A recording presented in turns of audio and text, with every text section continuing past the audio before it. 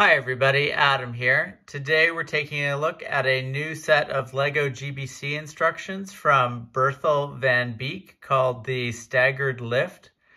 This impressive module contains 1,541 pieces.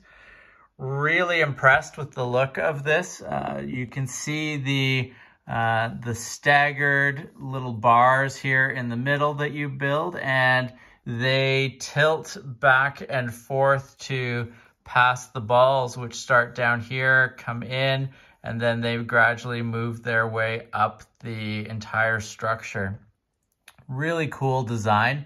I've seen several variations of this over the years at conventions and uh, you know, really cool to see what he's done here and I think it should be a lot of fun to build.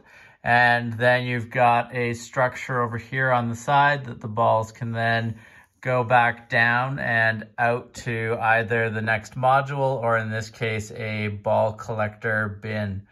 So really impressive work here by Berthil. I think this is a really neat design and I'm curious to sort of unpack this and learn more about what he is doing here.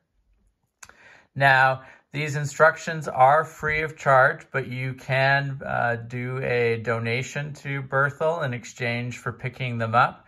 And the information for that is found on the instructions themselves.